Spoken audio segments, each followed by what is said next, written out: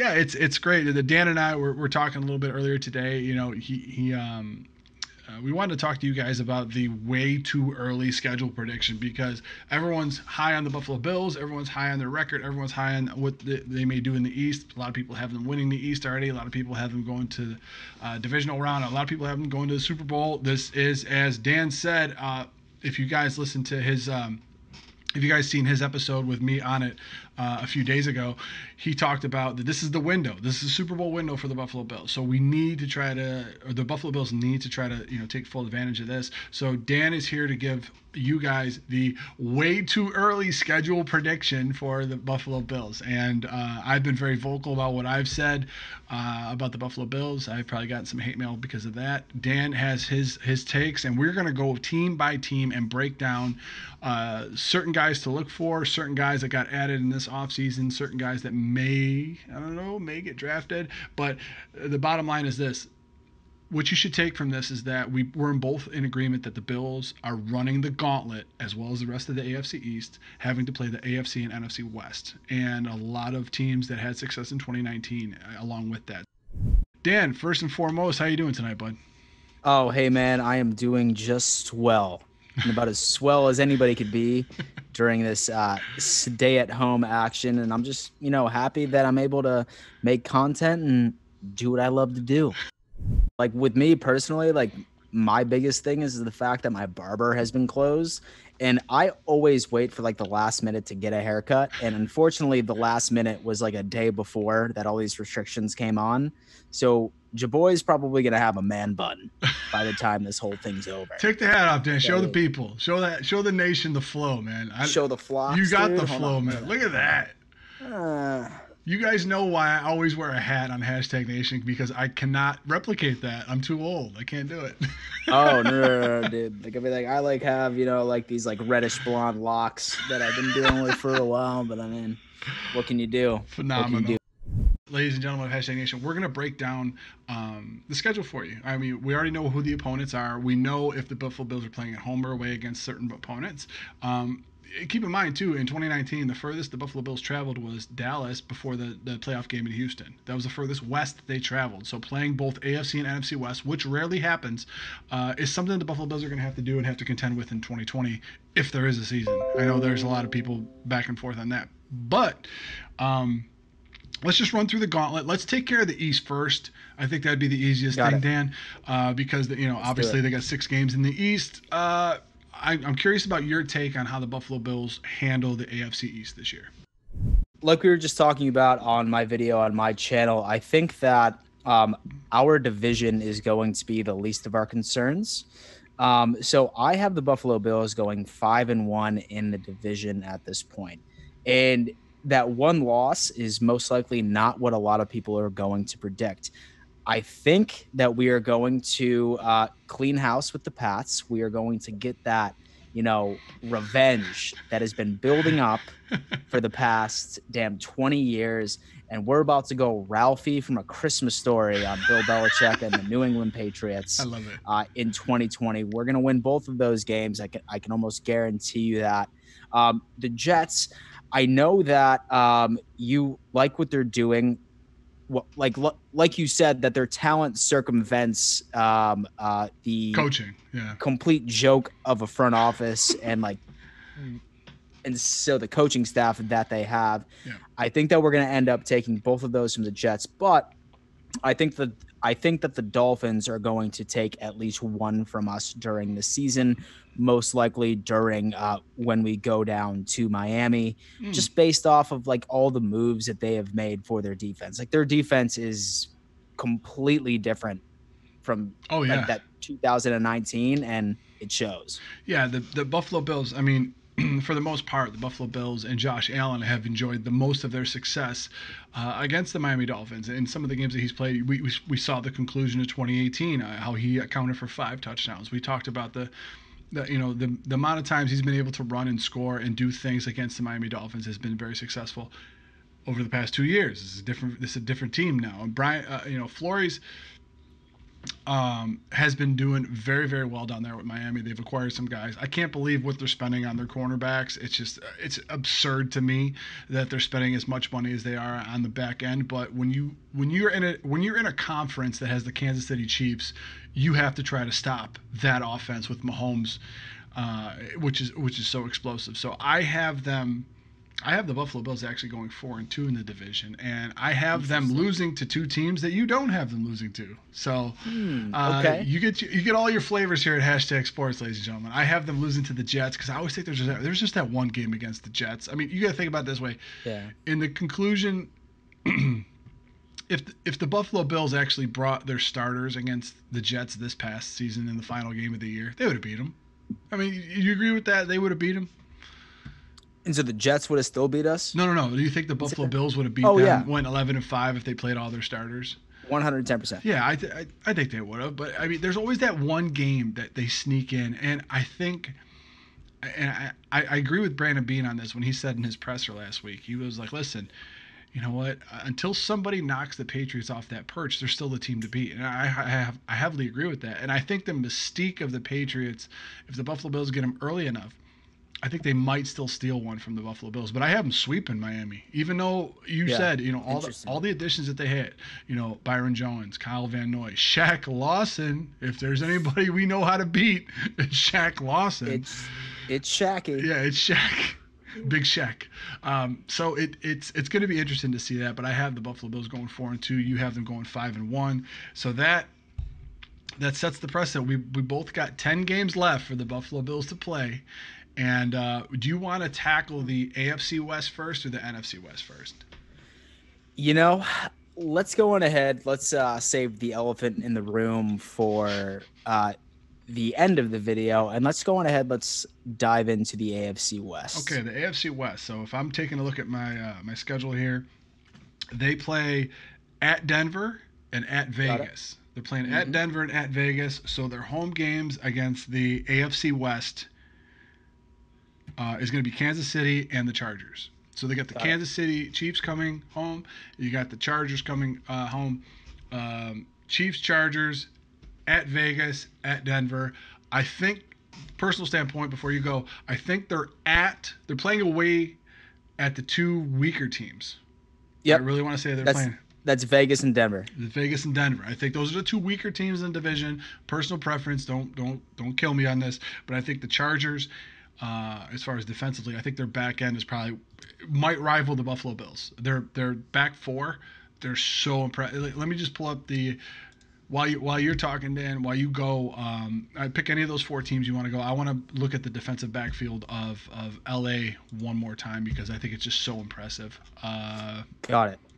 Got it. All right. So, um, since we're on LA, right? So, I mean, like while you're doing that research on the Chargers itself, um, and obviously we do have their head coach did come from the Buffalo Bills from the Rex Ryan tree. Let's put it that way.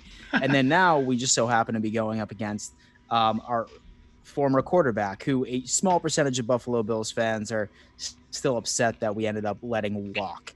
As far as the LA Chargers are concerned, um, I really have the Bills taking this game. Number one, because it is a new era.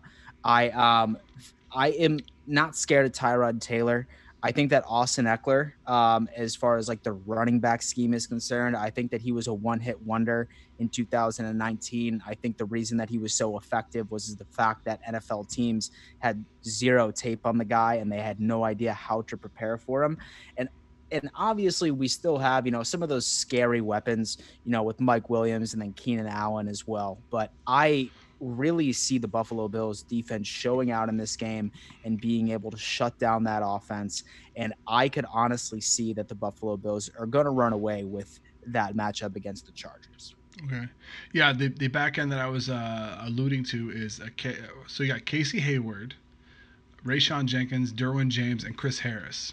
Uh, Yeah. un- unrestricted. It's it's amazing how many guys switch uh, teams in that division to try to play against that division. I mean, the hatred and the rivalry in the AFC West is so real. Chris Harris coming over from Denver, uh, trying to come there. You talk about Melvin Gordon going to Denver. Yeah. Um, it's it's amazing the rivalries you have, and the guys you talked about also. Uh, I just wanted to add two more names to it: uh, Bryan Bulaga and uh, Try, uh, I think it's Trai Turner. Uh, also come in there to bolster that offensive line as well as the uh, the franchise tag of Hunter Henry. Uh, you talk about Joey Bosa and Melvin Ingram; those guys are just freaks on the outside. I, I'm just. Yeah. I'm, I'm tempering my expectations as far as the the Chargers go, but I, I'll also because it's being a home game, because they have to travel all the way across you know the United States. I know it's for some people doesn't mean anything. For some people it's actually a factor. But I think if that's a one o'clock game and they have to come over, you know, and you know do all that kind of stuff, I think the Buffalo Yeah. Bills will take that game as well. I have them winning that game as well. But the other home game, which everyone and you and I are gonna have to temper our expectations, and you know, you with the Don Mafia, us with hashtag Nation. Mahomes versus Allen, it's Yeah. it's gonna happen. I mean, we It is. w- w- that whole week we're gonna get beat up, Dan. I just know it. We're gonna get pulverized. We're gonna be get beat up that week, and if Kansas City wins, which I have them, I actually have them beating the Bills at New Era. Field on that that following week, I might abandon YouTube. I'm not even lying because everyone's gonna be talking about. See, we Don't told you. it all. We told you they should have drafted Mahomes Yeah. instead of you know. So, but uh, I, I'm interested how you feel that game's gonna turn out. Yeah. So like I mean, like you know me as the guy that has those uh, super optimistic titles of my YouTube videos during um, the season where I will say that the Bills are about to annihilate, destroy whatever synonym that you could think of. Um, that is not going to happen that week. I am definitely not going to make a title of my video that. Um, I mean, really, with the Chiefs, man, like they are the Super Bowl contenders. And granted that they only have $177 in cap space, probably about like 42 cheeseburgers uh, for their head coach at this point. Um, their their offense is just absolutely scary, in my opinion. They have the best quarterback in the entire NFL in Patrick Mahomes. And while I know that we are going to expect a bunch of Bills Twitter, you know, like Bills social media being like, hey, we should have drafted Pat Mahomes. Like, yeah, dude, great. You know, like, let's just throw up an application for you to be the GM. Like, you clearly would have killed it. Um, realistically, the Chiefs, I don't see them taking any type of step back in 2020. They're still going to be the team to beat in the AFC. And while it is home, and while I don't think that it's going to be a blowout, because I think if there's any defense that the Chiefs will face in 2020, um, I think that the Bills are going to give them a run for their money, but I do see this being a loss, unfortunately. I, I, I do see it as a loss, but I don't like I, I I agree with you in the fact that I don't think it's going to be a blowout. I think it's going to be a great litmus test for this defense. Uh, this may be a game uh, that could be flexed. Uh, I depending on what time of season it is, what, what's going on with Yeah. both teams at the time. Uh, if the Buffalo Bill, if this is later in the year, uh, it could be something where the Buffalo Bills are like, okay, we're gonna this is gonna be a Monday night game because we want to see these two guys at work. You know, Mahomes and Allen. Um, it, it could be you know Sunday night flex game, which you know we, we all experienced this past season. But um, you want to talk about a draw. You want to talk about two teams that uh, have a lot of history. I mean, you- you're talking about McDermott, who worked for Reid. You're talking about, uh, you know, Buffalo Bills trading out and getting Tre'Davious White and the resources to get Edmunds and Allen the following year for Patrick Mahomes. I mean, I don't, I don't think the reason why I think that always that narrative always comes up is the fact that okay, you have to think of it this way: Would you take Tre'Davious White, Tremaine Edmunds, and Josh Allen for Patrick Mahomes? Keeping in mind, Andy Reid's not coming here. So Mahomes Yeah. would be here without without Reid, without Kelce, without Hill, without uh, at the time Hunt. Now he's got Williams. You know, he's got all those guys there. Uh, That's the thing. That's the narrative that always got me was the fact that he wasn't bringing Kansas City here. That wasn't No. happening. Not at all. So And so, with that being said, dude, like Patrick Mahomes would not have been the same quarterback if we were to draft him, mm-mm. like back in the day. Like, I mean, like, 100%. first off, so we went to Kansas City, who already has an offensive minded coach. Patrick Mahomes would not be the same quarterback in Buffalo. Like, that's facts, like right there, 110%. yeah, I don't. I don't think. So I mean, it's it's it's interesting because we really need to get an idea of what the Buffalo Bills offense is going to be in 2020. Obviously, we have a bunch of shiny new toys. We have three receivers who are absolute studs in separation. In my opinion, uh, the number one trait that you need to look for in the NFL when it comes to a wide receiver. So, I mean, at the end of the day, it's going to be put on Josh Allen's shoulders because you know that no matter what team we're going to be playing, we're not going to be seeing the same QB pressure that we have been seeing for the past two years since we have added Stefon Diggs to this offense.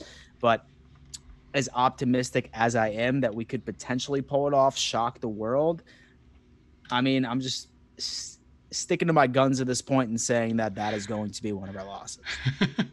yeah, I, I think a lot of people would, would have that same narrative on paper right now if you had to put those two teams in, in a stadium and have them play. I, I think it would be a highly contested game. I think it would be such a chess match of, of the, the familiarity, like I said, between Reid and McDermott, they know each other. They coach on the same staff. There's going to be, you know, um, there's going to be holes and gaps where they're going to try to uh, expose everyone else. So, um, so I'm so I'm I'm pumped to see that game. Like I'm excited to see that game, but I just think that the Buffalo Bills not I just want to say not yet. You know, but they haven't been in enough yeah. of those pressure games to do. I mean, you talk about Patrick Mahomes, who has played in the last two years in both AFC Championship games. One he lost, one he won. So he already has that big game feel a lot more times than than Josh Allen does, and I think that's going to be the key that, that puts him over the edge, as well as the uh, the factor of Andy Reid and that offense. So, uh, so all right, sure. if you're keeping track at home, Dan had him going five and one in the division. We both picked uh, one game in the AFC West. He has them at six and two currently. I have them at five and three. Dan, I got to tell you, both away games, both at Vegas and Denver, I got them sweeping. I got them. I got them beating both those teams. You got them. Me too. You got them winning those two. Okay. Me too. Okay, so I got you at eight and two. I'm writing this down so I, I keep a record. So I got them at uh, now seven and three. You got them at eight and two. Good. Mm-hmm. I mean, I mean, for one of the gauntlets of the West. I mean, obviously Denver with Vic Fangio there and then and their staff. They just got Melvin Gordon. Obviously, it's intriguing, but I don't think the level of the other two teams that we talked about as far as L.A. and Kansas City, as far as that goes, and and um, Vegas. I don't know. They just seem they just seem too Jekyll and Hyde for me to be any kind to develop any kind of consistency to to be a fundamentally sound team like the Bills. So I'm going to have them beating Vegas as well. So sure. uh, the non uh, the non-divisional games, but the teams they have to play, and as many as you know, uh, the Buffalo Bills, they're already playing the AFC West. They're already playing obviously their division, the AFC East. They have to play one team from the from the AFC South and one team from the AFC North that finish in the same placement that they did. So those teams are actually Pittsburgh and Tennessee. I mean, mm-hmm. we already have a history with, with Pittsburgh. We, we we took over Renegade down there at their stadium last year, but we got them at home now. And then we also have to once again go to Tennessee. So, um, starting with Pittsburgh, let's start with Pittsburgh and then go to Tennessee. How do you have them? How do you have those two games playing out? Got it. Got it. So as far as the so as far as the Tennessee Titans are concerned, I think that the Tennessee Titans got lucky Sorry if I cussed there. you can just edit that out. no, my man. As far as the Titans are concerned, I honestly think that they got lucky as hell in the 2019 season. I really think that um, Mr. Tannehill is about to do the exact same thing that he did once he ended up getting that massive payday from the Miami Dolphins in the following year. Uh, he would show his true colors. I don't have faith in Tannehill. I really don't. And I think that that's exactly going to be the Tennessee Titans' demise. Now, don't get me wrong, that Titans secondary is still absolutely incredible. Mm-hmm. I know that we still have um, that. That running back with Derrick Henry. But in 2019, when we went up against the Titans, we really gave him a run for his money. I'm not sure based off based off of like the stats, but I'm pretty sure that we ended up holding Derrick Henry to one of his worst games throughout the entire 2019 season. Mm-hmm. And I don't see that happening. And I see that happening once again. I see us actually going into Nashville and I see us coming up and winning this game. But with that being said, unfortunately, I see the Pittsburgh Steelers coming out and winning the game against Buffalo at home.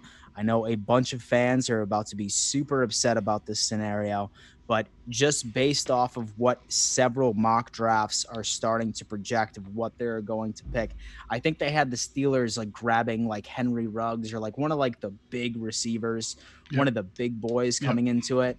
Um, I think the Steelers are going to give us a run for our money, and I think that is going to be yet another loss, which I think brings me to you're uh, at nine and three losses. Yeah, you're at nine, nine and, and three. three. Yep. Yep. Yep. I, so I got uh, the Steelers. It's so interesting too because I actually have them splitting against those two teams well as well, but I have them losing the away game at Tennessee. Interesting. Um, you know because uh, you know it's hard to put one year against another, but this is the way too early. The draft didn't even happen yet, so I mean, we're making uh, we're making these predictions. We're kind of going on a lot of things that happened. They beat the Tennessee Titans 14 to seven last year before they went on their run, before their line could get it, before they could gel, before they they knew what their identity was as a team.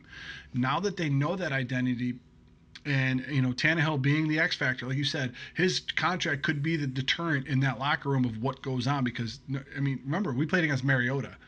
Um, so this team, that, that team was still able to go, and uh, they've only upgraded. I mean, they, for the defensive side of the ball, they ended up getting Vic Beasley to pair with that secondary who. Uh, at the time, didn't perform very well against Buffalo Bills, but you to remember the Buffalo Bills only scored 14 points in that game. So yeah. I actually have them losing that game at Tennessee because there's always, uh, I just think there's such a psychological effect that comes with a team that has to seek revenge on you. The, te- the, the, the, fan base of Tennessee was embarrassed, even though they won that online thing that they paid for. Uh, but they, they got outshone by the Buffalo Bills fans in their own town. I think they're going to come out in drones. They're going to they're going to try to dominate the game. They're going to try to dominate the sound of the game. I just have Tennessee stealing stealing one even though they were in the AFC Championship game last year, I'm gonna say that they're gonna steal one from the Buffalo Bills. But I see the Bills handling business over whatever quarterback, Ben Roethlisberger, Duck Hodges, Duck Duck Goose, whoever the hell is their quarterback that comes Duck, up, Goose. whoever the hell comes up to Pittsburgh. I have them handling business. That's the split that I have. So I currently have the Buffalo Bills as we go into the elephant in the room, as you say. I have them at eight and four going over to the West, and you have them at uh, nine, nine, and three. three currently. So, yep. Uh, so now we're gonna go. They're playing at Arizona and at San Francisco, and they're home against Seattle and the Rams. So both LA teams actually come to Buffalo, which is good, which is good. So uh, let's start with um, I'll start with San Francisco, the defending Super Bowl rep- representative of the NFC. How do you see that game playing out? And so that defense is just too damn good, man. They are very, very good. That Nick Bosa is just an animal. He is a once in a lifetime type player. Um, as far as San Francisco's defense is concerned, while I don't see this being a high scoring game, I wouldn't be a, I wouldn't be surprised if this is the lowest scoring game throughout the entire season, something like a 10 and 7, maybe a 14 and 7, 14 to 10. Um, but unfortunately, I do have this marked down as another loss for the Buffalo Bills against the Niners, just based off of um, that team. Like, really, like minus Emmanuel Sanders I mean, the Niners have basically the exact same team back. They ended up finding it. They they ended up finding another deal for Matt Breida, and then they have Mostert as well as their two running backs in the backfield. While I think that Garoppolo is a little bit overrated, I still think that I could see San Francisco coming up with the W in that one. It's tough. Uh, that's that's gonna be a tough one. Look, I, I'm just looking at this. I mean, Arik Armstead, first round pick. Solomon Thomas, first round pick. Nick Bosa, first round pick. Jimmy Ward, first round pick. You know, I mean, you look at that defense, and it's it's disgusting. It's it's absolutely like Dee Ford. You know who they acquired last year. It's just Kwon Alexander. I mean, you that defense is terrifying, and honestly if it were home, I may have a little bit better argument. But being in San Francisco, tra- I mean, the same reason that I said, you know, the LA Chargers traveling to Buffalo, I'm saying Buffalo traveling all the way to the West Coast, trying to go out there um, to San Francisco. I just think it's going to be a, a, tough sledding for them. I have them losing that game as well. Um, you know, so you got them at nine and four. I got them at uh, how did I? How do you have them at nine and four? And I'm only oh, I got them eight and five. I'm sorry about to say, how did I have 13 games and you didn't? Okay, so uh, that being said, the other um, the other away game that the Buffalo Bills play is at Arizona. Uh, high-powered offense just got upgraded because of Hopkins getting traded there, which was the trade that I, I still don't believe happened. Um, who do you have, who do you got winning that game and why?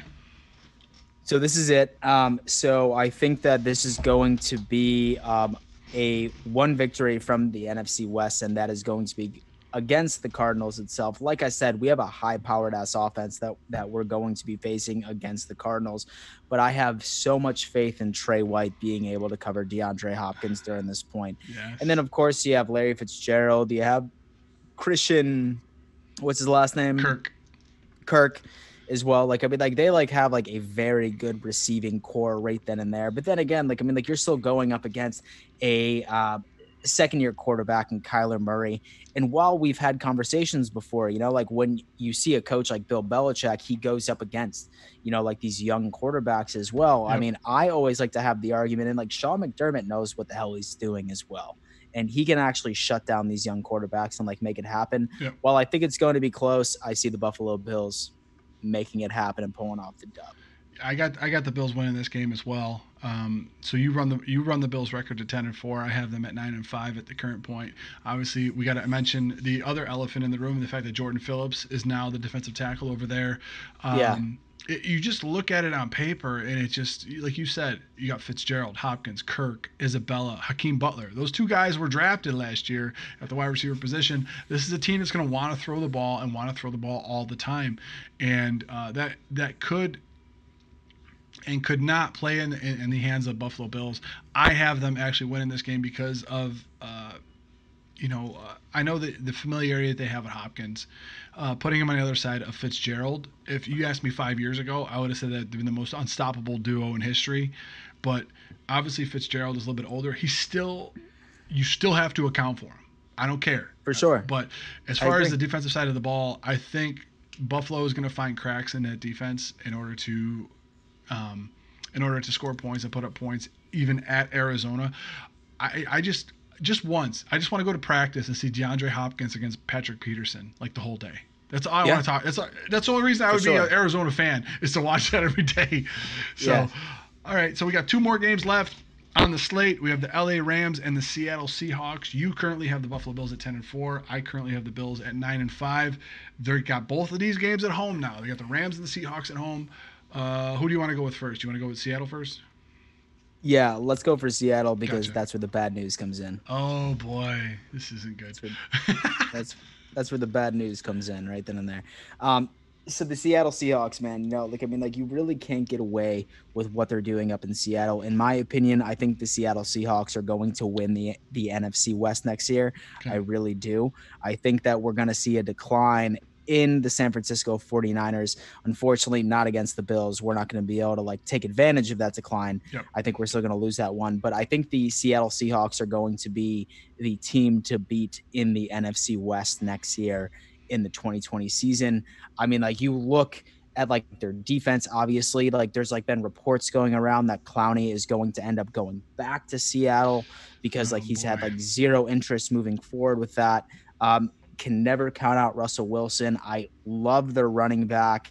I love the running back and Chris Carson. He absolutely killed it for me in fantasy last year.